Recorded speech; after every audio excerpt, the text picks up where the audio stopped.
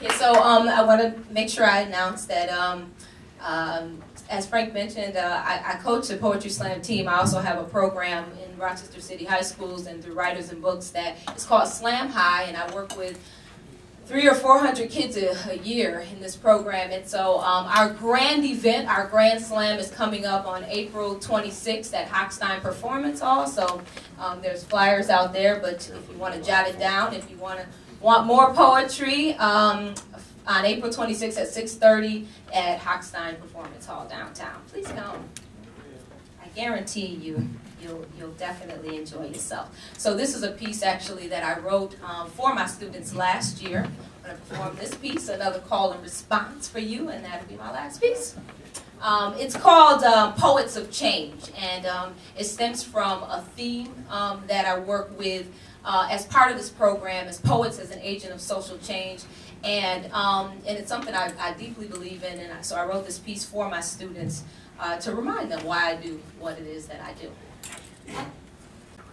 So this is it. So the call is, you are the poets. And when I say you are the poets, you say, you know it. Okay? I say, you are the poets, and you say what? You know. All right, here we go. Let's see if this thing picks me up at all. Um, I just move away from a little bit. Test, test. Is that good? All right.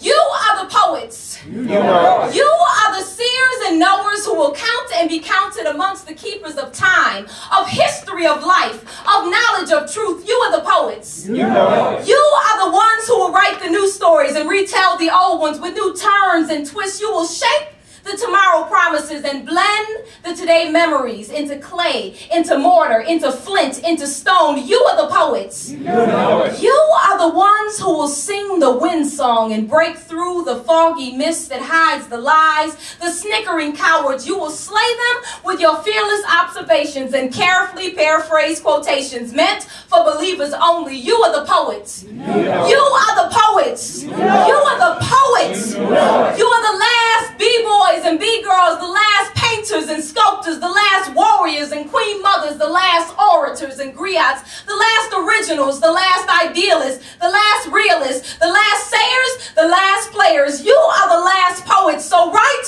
with visible ink, erase nothing, make permanent and clearly identifiable your mark. Pass the plate around and contribute your most precious jewels. Dance wildly and shake loose the words. Sleep with a pen in hand. Wake and remember your dreams. Record them and read them over before sunrise. Memorize your thoughts. Carry your journal always and write even when you don't. Read everything and rearrange the words often. Case your world. Find your stage. Leave nothing off your page. Eat well balanced meals. Feed your mind with love, light, and beauty because that is what poems are made of. And poems are what life is made of. And in life, you must know and never forget that you are poets. You know. You know. And real poets are what change is made of.